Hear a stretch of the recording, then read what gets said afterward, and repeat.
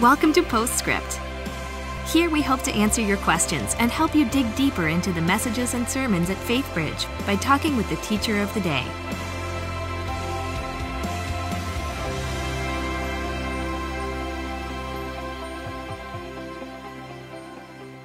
Hi, and welcome to Postscript. I'm Luann Riley, Grow Group and Discipleship Director, and I'm here with Pastor Ken, who just brought part two of the David message, and very timely Goliath Must Fall, and talking about giants. Great sermon. Thank you. Um, just the Lord's timing in that it was brought this Sunday because certainly Hurricane Harvey and what we're facing feels giant. Giantish. It does. Uh, I mean, the physical part of it, but the emotional part of it, the spiritual part of it. Um, so we're just going to take a little time right now. We didn't have questions come in specifically about the sermon, but to just speak to where we are in the midst of this.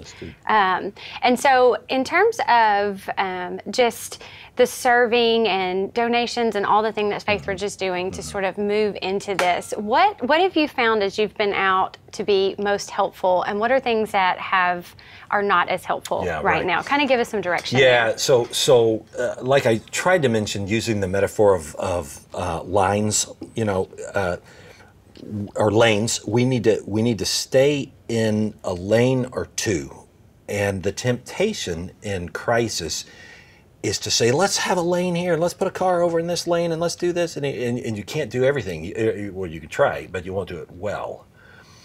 And I think that's where Pastor Dan really gave our staff good guidance yesterday when he said, okay, look, this is a lane and this is a lane that are our lanes. We are good at this. We've got the BFT, uh, Bridging for Tomorrow uh, deal, food, they need food. We got the teams. We, we do teams. We know how to do teams. Let's do this. So I say, like, give me an example of something that's not helpful. He's like, well, I walked in a day or two ago, early in the morning, and somebody had come by the dark of night and basically dumped their garage hmm. clean out on our steps. Right. And we'll assume that came from a good Yeah, because I feel like right you now know. everybody's like, I just want to do, I something. and so yeah. I, I'll just take everything that I have to give, I and I'll just I'll clean out my garage. Right, I've yeah, been meaning just- to do that yeah. Mm-hmm. for months, and I'll just leave it on the steps of the church. So it's coming from a, a, Mm-hmm. a generous or altruistic or caring uh, place, but it's not the most helpful Mm-hmm. because w- that's not our lane. Mm-hmm. And what that just means is that I've got to take two, three, four people off of what we do well out of our lane.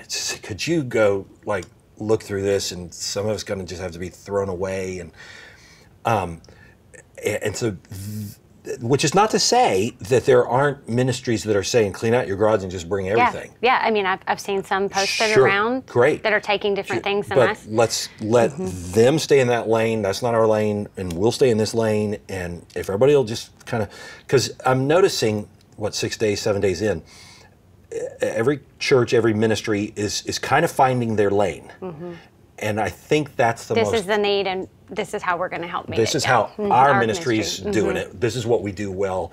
This is our sling and our stones. That's Saul's armor. We're not going to put that on, but that doesn't mean that's bad. Just if that's the armor that you want or that you have, find who's driving in that lane and then let's go there. I think maybe that's the most helpful thing. How do you stay current? Because it is evolving. Yeah, Every it- it- 24 hours, it evolves a little bit. Now we don't need this anymore. Okay, what do we need now? Now we need this. Um, just on the app, the FaithBridge app, faithbridge.org slash Harvey, Facebook page, Facebook. Um, if you just will kind of go to the one- Bridging for Tomorrow page Bridging stays updated. for tomorrow stays uh, updated as well. Um, you can stay kind of in front of uh, or, or towards the front of the curve. Um, as I was explaining to somebody yesterday, we don't feel like we're more than uh, a few hours ahead of everybody. Mm-hmm. In crisis, that's what you are mm-hmm. is a few hours ahead. But God gives you enough, and you you find your lane, like I said, and and, and you start going. So stay current with us as we try to stay current with the needs in the community and the people that we're in touch with and the mm-hmm. ministries that. Yeah, that's good. Um, and so we've talked about sort of from a practical side of meeting needs. Mm-hmm. Um, but when these things happen, there's also a spiritual side Sure. as well. Um, and a lot of people asking questions, saying things, sharing things. Um, what have you found in terms of thinking through this spiritually Sure. is helpful, Helpful and, not, and not, helpful? Yeah. Um, you know, uh, I had um, communication from two different people, and they were so different. And I think if I flesh it out a little bit, can help me answer the, the question. One of the people I pulled up to, the, uh, and he, his whole medical practice was wiped out, and all his stuff's out in the parking lot. And I walked up and just gave him a hug. First thing he said was, "It was our turn." Hmm. I said, "Now that's an interesting take." He's like, "Yeah, you know, everybody gets to suffer. God uses cu- suffering to build character and perseverance. So this time it was our turn. But God's with us.